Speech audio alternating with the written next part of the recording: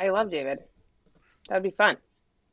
Sorry, I was not paying attention for a second. I was reading my Twitter notifications. um,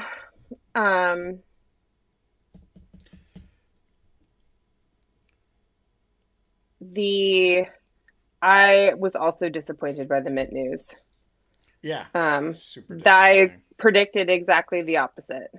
Um, I'm surprised by it. I I I'm really surprised by it. It does not seem to be the right move. I don't know. Who knows um, what the right move really is? But where is no I apparently had a. Dan Brown book on my bookshelf. And Hello, David Priess. hi, David. Hello. I know How you're are Look you? how here. look how sharp Ben is, You- and info and It's high definition, Ben. Yeah. Sharp Ben is? Isn't Ben always sharp? Oh, Not haha. my image. uh, uh, but look, I know you're only here, David, uh, to uh, for lawfare uh, uh, uh, user experience. Oh experience. no, I'm I'm here for the company. It's it's Um, but we- research and it's personal. But we thought we'd bring you in for the pre-game show. So say hello to the audience. Hello, audience. Hello, audience. That's This not is- awkward at all. Yeah, it's not odd, awkward at all. This is Where's Dan Brown on your shelf? Oh, I'm not well, seeing Dan Brown. Dan Brown was over here and was repla- I replaced him with Tom Clancy because John, my partner, Yeah. was like, "I'm very embarrassed for you that you have this." I'm like, "It was, it's my parents' bookshelf that I like have maneuvered into this thing and replaced with some of my books." Wow. Like, my mom You're throwing your bought parents Dan under the bus for this. I know. Classy. I, I this is like a theme on in lieu of fun is they don't watch the show, so I can just blame everything on them, like the I rest of my life. I do not I do not have my setup with my bookshelves behind me, but if I did, you would prominently see this. oh wow. Yeah, we have to have Yeah. we have to have now that we, we got to give the um uh the authors a few more days for people to have bought and read the book so that Right. people will have actually have questions about it and it'll be different from the Yeah. various podcasts. I just they've bought done. it and I bought another copy for my mom because her birthday's coming up and she's just like Aw. like and she's just reading all of the the Trump books that have come out. She just got through um oh my god. What's the one that you got the advance of? Ben? Which one? Yeah, you get advances I of all get, of I them. get I get to all of them in advance.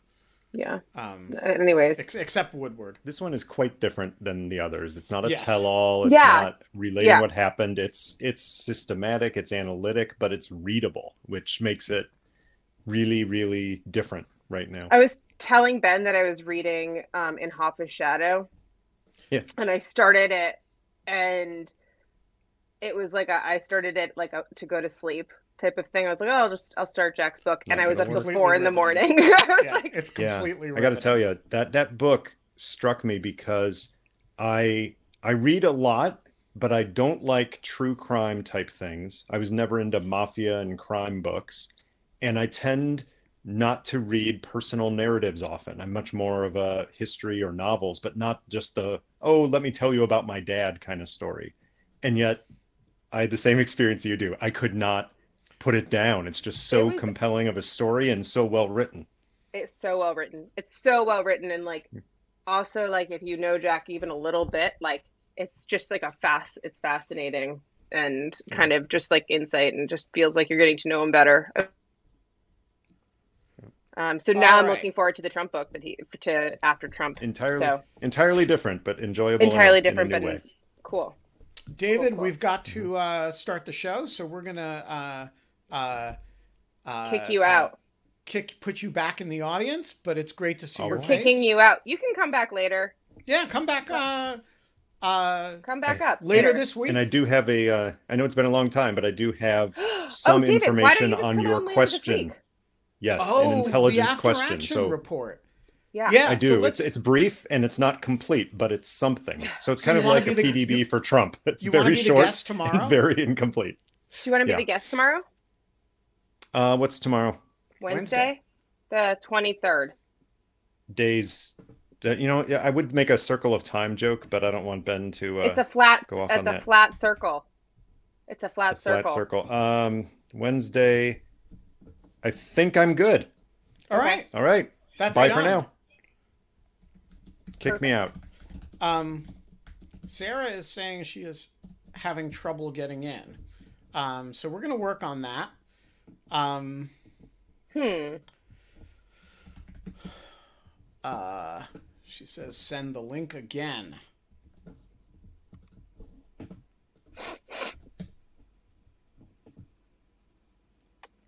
You want to know what else is weird? It's been like a long time since I've had like a cold because I've because well, of you don't see anybody. You, I know, no, like you're not in contact with people. I know it's kind of funny. Your idea of social interaction is in lieu of fun.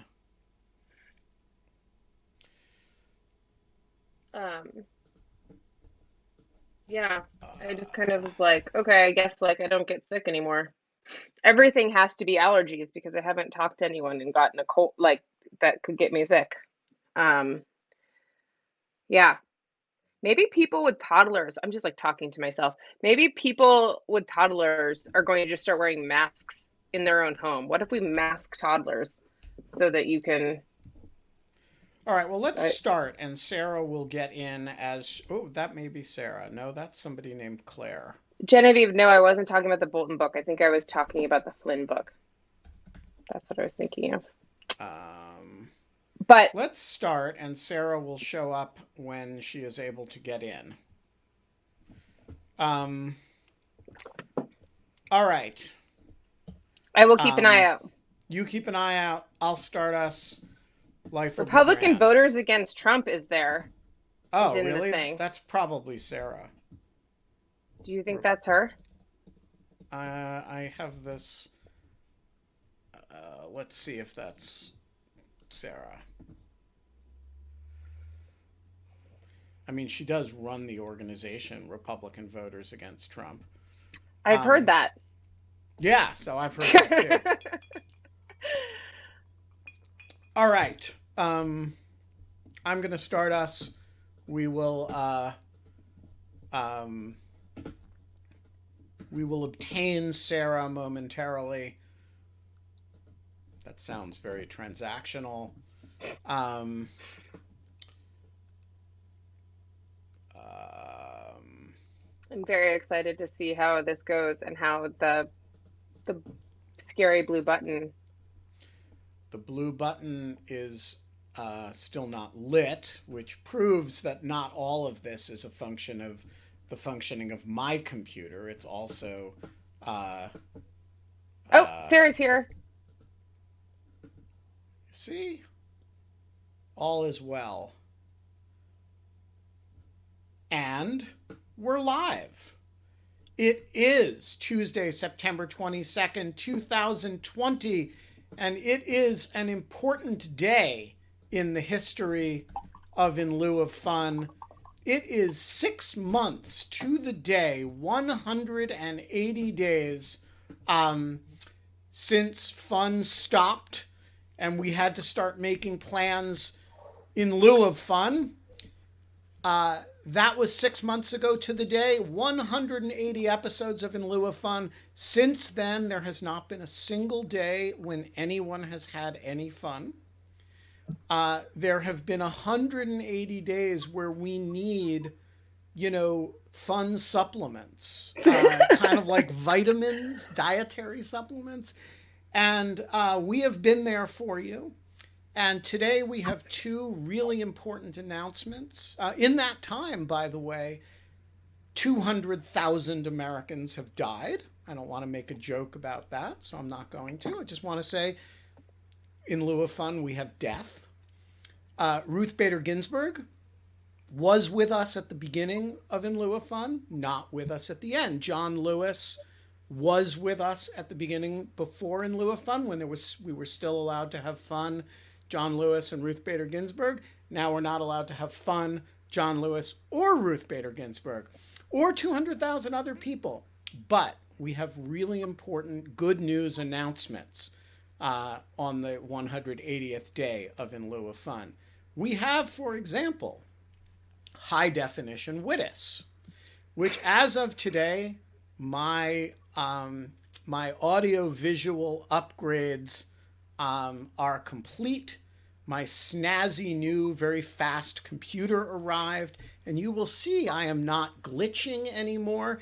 The upgrades that began with my awesome internet speed have now been completed with my CPU speed and memory. I'm not going to be disappearing anymore. You're not going to hear echoing because my AirPods can't keep up with, or the computer can't keep up with my AirPod connection. So we've got uh, uh, high definition Wittes for in lieu of fun, and that's important because you know that way you get the bad news faster. Um, and Kate also has a very important announcement on the 180th day of In Lieu of Fun. Yeah, uh, my announcement is I got my In Lieu of Fun merch uh, today. In lieu of fun, there is a murder hornet with baby prosecco.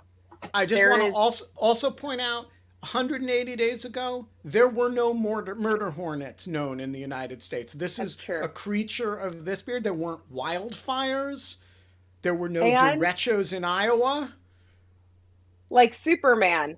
But we didn't have in lieu of fun merch either. So it's a balance. You know, 200,000. Americans It's pretty. Or like, in lieu of fun is- merch. You get your choice. Yes. Uh, the good yeah. and the bad. This is what you get in Trump's America. T-shirts with uh, with um, baby cannons, baby chipmunks, murder hornets, baby prosecco, um, and no fun. Yeah. So, So- that's this is the trade-offs that we live with these days. You know, you can have your fun, you can have live Americans.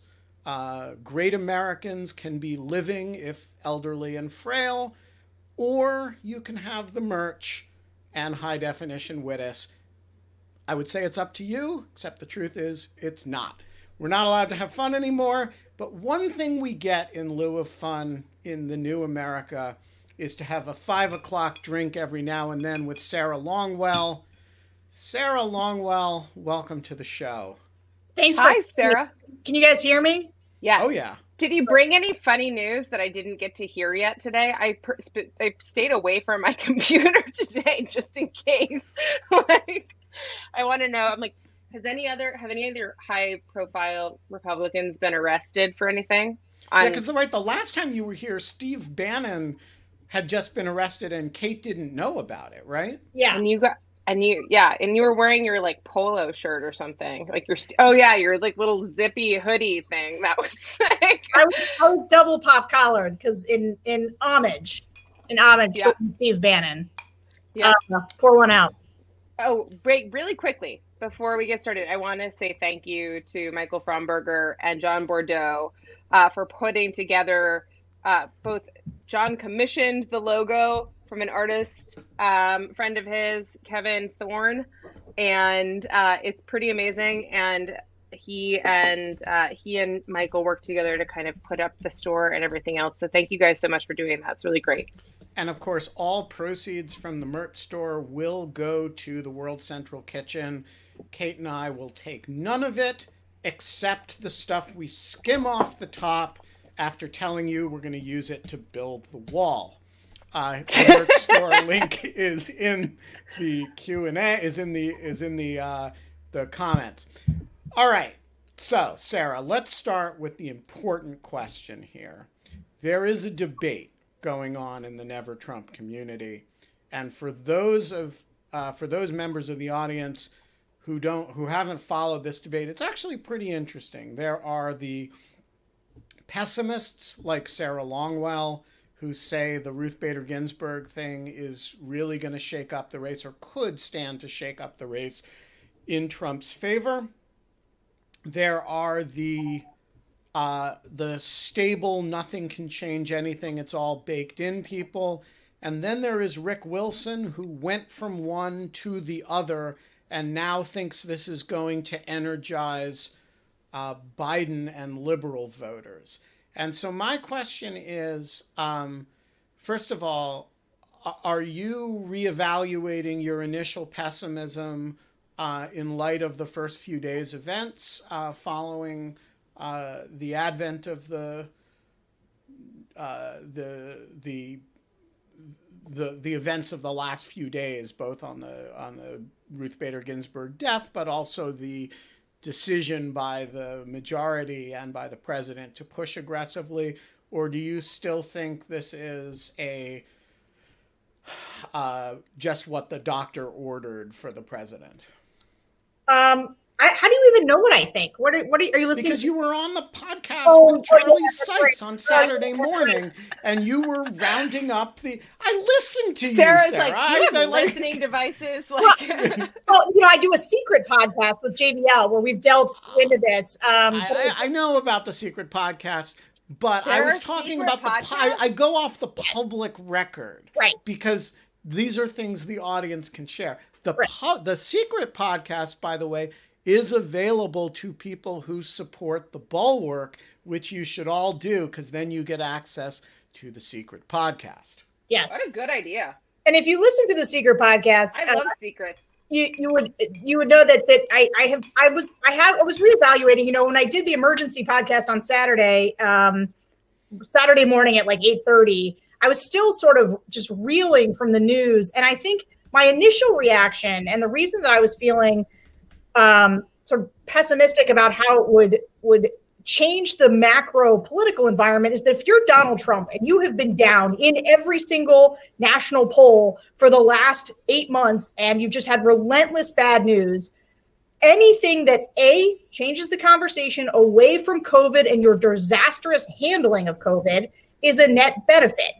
Two, you know the conservatives it's a, we have a culture of the co- courts among conservatives. And it and it, it Ann Applebaum had a really good piece about this over the weekend where she talks about I when saw that. when it gets when it starts to be about the courts it tends to sort of send people into their ideological corners right? And they dig in in this way. And i also remembered the kavanaugh fights you know because the, the courts end up sort of they split the never trump community between the people who you know maybe are are slightly more siding with democrats versus people who are like if i'm going to get anything out of donald trump i want these supreme court justices you know so give them to me like a matt lewis or somebody like that um, and so I just, if you're, and, and part of the way that I always evaluate whether news is good or bad is that I think about it from Trump's perspective. Does Trump think this news is good or bad for him? Is he happy or sad that this happened? And I don't think you can say anything other than Republicans and Trump are very happy to have this fight right now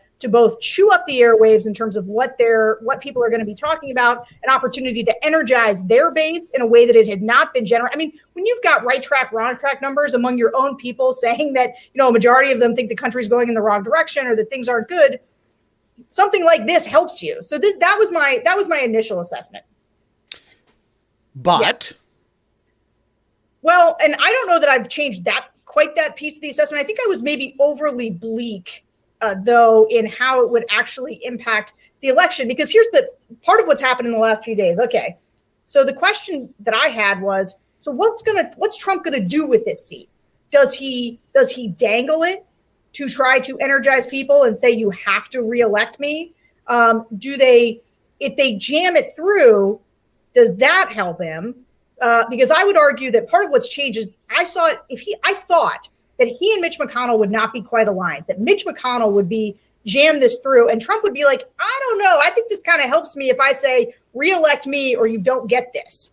And instead, what they decided to do, it's now clear, is like they're going to go for it, right? The whole thing is, and maybe part of the calculation there is Donald Trump would like a very favorable Supreme Court for himself when this if this election's very tight and it ends up in a 2000 where things are end up the Supreme Court ends up playing a decisive role. Um, but anyway, so they're going to jam it through now. Now, when you do something like that, and all of the polling that I've seen subsequently, like from Reuters, says that 63% of the public think that they should wait. And obviously, all of these Republicans on the are on the record from not that long ago saying this is something that you shouldn't do in an election year. So it's starting to look more like the public opinion environment sort of against them, constitutional environment favors them. So they're going to jam it through and say, and and honestly, like their posture is just like a party that has lost everything, right? This is like their Hail Mary. We're about to lose the Senate. We're about to lose the election. And so, like, this is the last thing we've got. Uh, so, like, let's knock it out. And if people are mad at us for it, oh well. And we lose the election. It was going that direction anyway. That's the posture I see. So I'm slightly now I'm slightly I'm I'm now I'm more bullish on the idea that they will get it through and done. Before I was also like, that clock is ticking. Like that is a serious time crunch. There's only like 13 working days that the Senate has scheduled between now and election day. Um, but they're obviously they're going to make everybody come back, pull them off the trail. They're going to jam this through, and I don't think that that creates a better environment for them electorally. Is where I've landed. I've netted out. It's very federalist society like this fo- like i think that that's kind of that's kind of how i like i read it a little bit is that there's just this focus this long-term focus of like well if we're going to lose the executive then at least we can keep winning in the courts which is has been i think uh, really kind of the tactic of the federalist society for quite some time. Um, and uh, i don't know that's just kind of that was like the way that you were you were describing it right now kind of reinforced that to me. Um, i don't know if that like that resonates with you at all, but yeah, I, I think that's uh, I think I mean that's sort of what I'm saying is I think that yeah. they think that the courts are kind of the last bastion of the things that they're own, and they're, Mitch McConnell basically seems ready to light the Senate chances potentially on fire in order to get this through. But I think now, that why, I guess why, also... why do you think that is a rational act on his part, objectively? The difference between a five to four majority on the six on the Supreme Court and a six to three majority on the Supreme Court is less than the difference between controlling the Senate and not controlling the Senate. Um, after all, controlling the Senate is controlling half of a branch of government and the more powerful half at that, whereas controlling, you know, having firmer control over the Supreme Court is I, I, I wouldn't say it's one ninth of a branch of government because this is a key vote, but it's not a third of a branch of government. It's not, you know, maybe it's a quarter. Um, why do you think it's a rational act on McConnell's part to bet the Senate on a Supreme Court seat? Well, I mean, because the, the bet I mean, it depends on how much he loses the Senate by, right? So, and like, whether he would have lost it anyway, which is of course unknowable. It, that's right. And, and, but see, that's my point. Is I think that they already think that Collins is gone. They already think McSally's gone. They already think Gardner's gone. And so now they're thinking. So they're looking at like a place like Iowa, okay, where Ernst is a little bit in trouble. Does this help or hurt Joni Ernst? Probably helps her in Iowa uh, and so like the thing, because that's the that's the difference. Like, does it hurt or help Lindsey Graham, who's suddenly running neck and neck with Jamie Harrison? I think it hurt. I gotta say, I think it hurts Lindsey Graham. Why? Tell me. Because yeah, tell me. I, I because Sarah. think of all the ads that Jamie Harrison is going to run that says, you know, here's Lindsey Graham in 2016. Here's Lindsey Graham in 2018. Here's Lindsey Graham today you know, how can you trust him? Yeah, um, here's my counterpoint. Here's my counterpoint. Donald Trump is running, it's like plus eight or something in South Carolina, which is not as good as he did in 2016, but it's still pretty strong for him. And I think that the reason that Lindsey Graham doesn't do as well is because he people don't perceive him as being Trumpy enough. They can't, they think he's let the Russian hoaxers run wild. And so people want to see the Lindsey Graham of the Kavanaugh hearings that's, you know, lecture yelling at people and saying, I won't let you get me Dems. And that's why he was on TV most recently, because he was on Fox News and he's like, Jamie Harrison's outspending me, contribute to my campaign. I won't be ruled by this mob. I won't be pushed around. Mitch McConnell won't be pushed around. Like that's his play. That's what he thinks is going to help him. But yeah, I agree with Sarah one hundred percent. But I guess my question is, Jamie Harrison is outraising him in that context. And so I guess my question is who is it energizing? When the world looks at Lindsey Graham right now, a lot of people are saying ugh and giving money to Jamie Harrison. I it just doesn't it's just not clear to me that he is creating more now I am deeply not in touch with the average South Carolina voter, white or black, by the way. Um, you know, this is just not a, you know, not my mid Atlantic uh, uh, uh, urban socioeconomically advantaged cultural whatever milieu. that said, I I don't see like who has Lindsey Graham endeared himself to other than a certain group of, you know, kind of MAGA uber alles kind of people. Yeah, but that's who's going to vote in South Carolina. I mean, that's that's where the margins are in South Carolina. And like, look, here's another example, just to, you know, Mitch McConnell, Amy McGrath is raising ungodly sums of money, just ungodly, and everyone hates Mitch McConnell. His approval ratings are at like 36% in Kentucky. He's going to win in Kentucky. People can stop sending money to Amy McGrath. It's nothing against her. She's not going to win that seat, and people should like let it go. And they should spend money on Senate races that are winnable uh, because she's just not going to pull it out. It's like so. What if you were advising people, say? 96 people who were live on uh, Crowdcast and 120 or so who were live on YouTube, and all the other people who are going to watch this uh, not live. Uh, what is the right, you know, for your marginal dollar? You don't want to give to Kelly, who's pretty clearly going to win in Arizona, or to uh, Sara Gideon, looks like she's going to win in Maine where is your marginal dollar best spent? Yeah, so in Senate races right now. Um, I mean, it, look, I think that I think that Lindsey Graham that race is close enough, and Lindsey Graham is sort of vulnerable. I mean, when I see him on TV, he looks panicked to me, and I think that that's a perfectly good race to invest in. I would look at MJ Hegar in Texas, who's only running five behind Cornyn in a race where Joe Biden's running even with Trump in Texas, which is one of the craziest things anybody's ever seen. Uh, and so I think that that that like I don't, don't remember what the last polling is for McGrath, but she's down I think by double digits. Like it's not it's not close. Whereas MJ Hegar's got a five point deficit, and she's basically unknown. Um, and so that is a better like if I was just all anything aside, just looking at things analytically there. And then the other thing is in Georgia. So Georgia's got two Senate races, um, and you know, and they've got this Dem that's like hanging out that might cause real problems for the the the Dem who's doing much better. I forget his name. Um, oh, and then the other race that's interesting, right? That's not getting much attention at all. That's very interesting for the Supreme Court fight is Alaska, uh, where Sullivan uh, is is looking like maybe in a dead heat, and he's just had his seniors, the senior senator, the senior Republican senator, just came out and said they didn't want to vote on this. And so that creates an interesting dynamic in Alaska that's not a very socially conservative state. And like, this is one of the things too about just analyzing the current environment as it relates to the Supreme Court. We don't know who the nominee is yet, right? Because if it is uh, Amy Coney Barrett, who's the front runner, runner right now, so lots of conservatives really like her. She's sort of a star in FedSoc world. She's a very socially conservative. Uh, you know, Alaska is not a very socially conservative state at all. Like that may play really well in Iowa and Midwestern states, may not play as well in places like Arizona, uh, in places like Florida, in places like uh, Alaska. So, like, anyway, but your question about marginal dollar, those are some of the races I might take a look at. Um, what about Mississippi?